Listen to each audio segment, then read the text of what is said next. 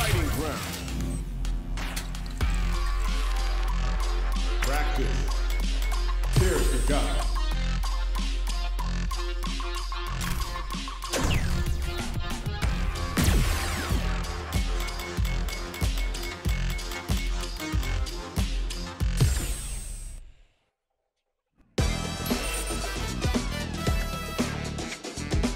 Shut up!